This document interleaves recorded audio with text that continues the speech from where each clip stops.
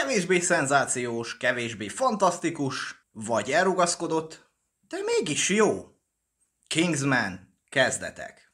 Valamitől azt vártam, hogy pénzlehúzás lesz, és majd telinyomja a filmet a szent üzenettel, akkor az ez a film. Főleg miután láttam a bemutatót, és abban is a női meg a fekete akcióhőst, Anglia egy olyan korszakában, amikor majdnem mágiára dobtak, ha az egyenjogúság szót egyáltalán kimerted ejteni a szádon. Fel is készültem, hogy szétszedem a filmet.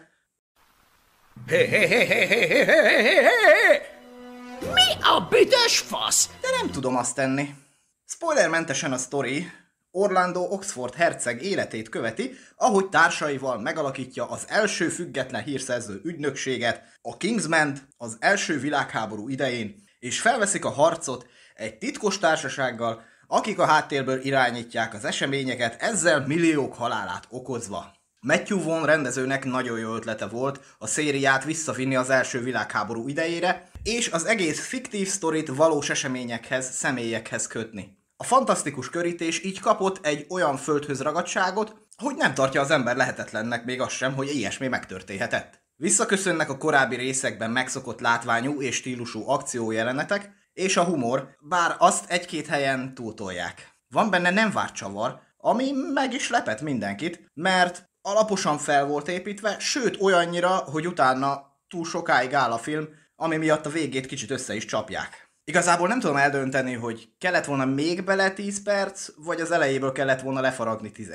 Ralph Fiennes nagyon jól adja az akcióhős szerepét, bár itt azért látszik, hogy számtalanszor kellett vágni a jelenetein, hogy az jól nézzen ki. Nem úgy, mint Colin Firth esetében az előző részekben. Gemma Atherton és Jimon Honsu nagyon jó mellékszereplők, jól dolgoztak össze fiennes és a jelenlétük is szépen meg van magyarázva a filmbe. Van benne némi prédikálás a hazafiasságról, meg a háborúról, de helyén van kezelve, és illik a karakterekhez a mondani való. Sokkal kellemesebb élmény volt, mint a Matrix felöklendezések.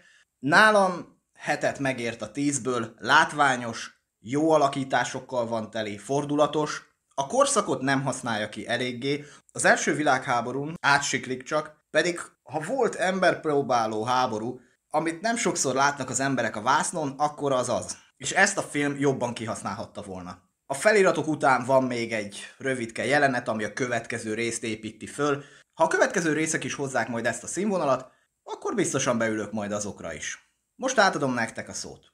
Láttátok a filmet? Mi a véleményetek róla? Bármi is legyen az, válaszaitokat hagyjátok a komment részben. Ha tetszett a videó, dobjatok rá egy lájkot, ha nem vagytok még feliratkozva, iratkozzatok fel a csatornámra. Hamarosan ismét találkozunk.